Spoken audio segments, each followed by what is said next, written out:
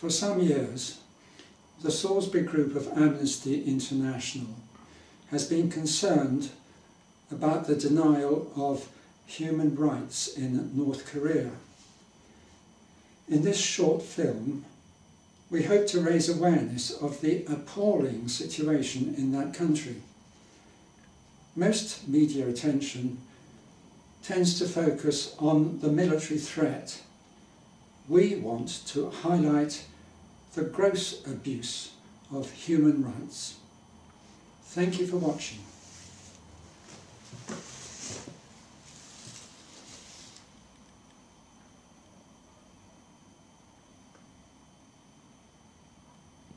I'm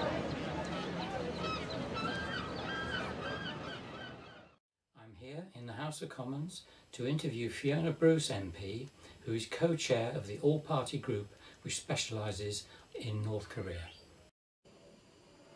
Right. Fiona, thank you very much indeed for giving up your time for this interview for the uh, Salisbury group of Amnesty. Can you tell us something about the work of your all-party uh, group in, in relation to uh, North Korea?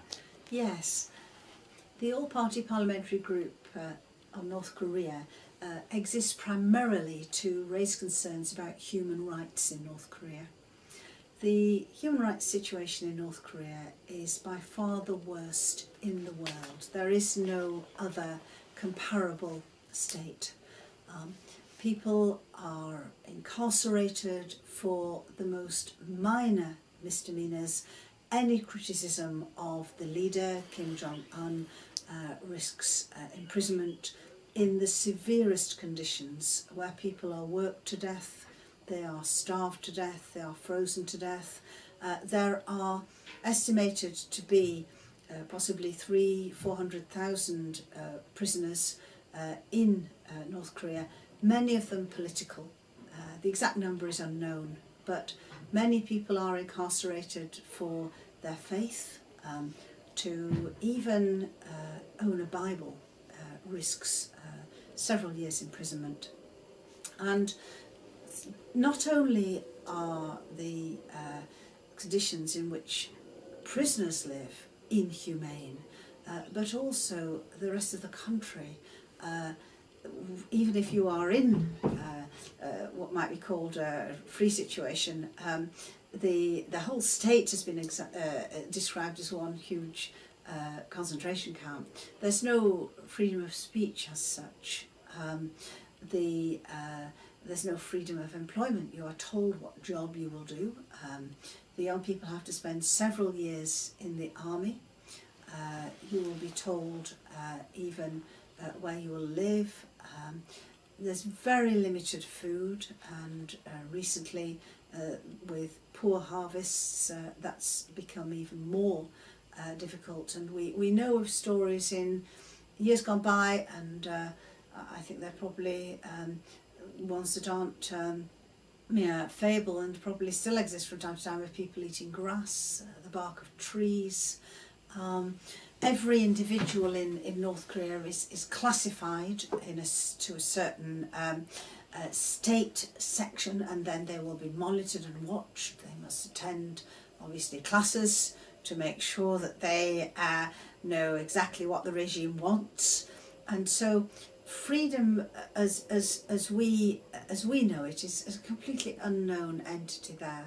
And of course there's no... Um, so it's a country where uh, inhumane uh, actions on the part of the state, state sanctioned torture, uh, state sanctioned inhumane treatment, and uh, women, for example, particularly badly treated. Um, they will be sexually uh, mistreated, uh, forced abortions. Uh, they are very much um, second or third class citizens. Um, th- th- this is something that uh, violence against women and girls in North Korea is something which is a particularly uh, difficult issue. And of course, if you try to escape North Korea, you will risk uh, serious uh, sanctions if you are caught, imprisonment. But sadly, now, not only for yourself, but also with the three generation rule, you can uh, have three generations of your family then also punished as a result of you trying to escape.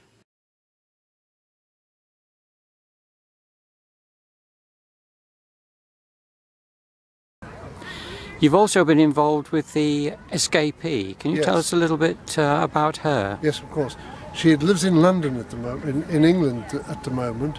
Her name is Jihyun Park, and she was one of the people who escaped prison in North Korea and crossed the river into China, where she was treated abominably by the Chinese, and actually gave birth to a child there, which. Um, when they said she could go, they set her free. They said they would keep the child. It was only after long discussions that she was able to keep the child.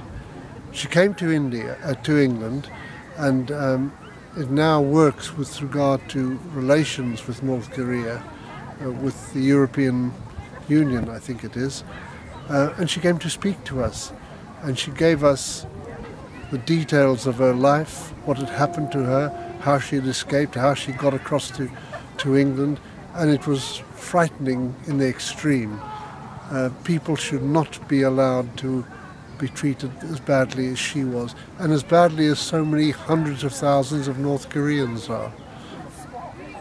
Uh, is your group planning on doing more in connection to, with North Korea? Well, we constantly contact um, our officials, the government, the local MP, and ask them, can they please contact China and ask them not to send back uh, these prisoners who have escaped from North Korea. Some of them are not prisoners, of course. Some of them are some ordinary people who can't take the life anymore.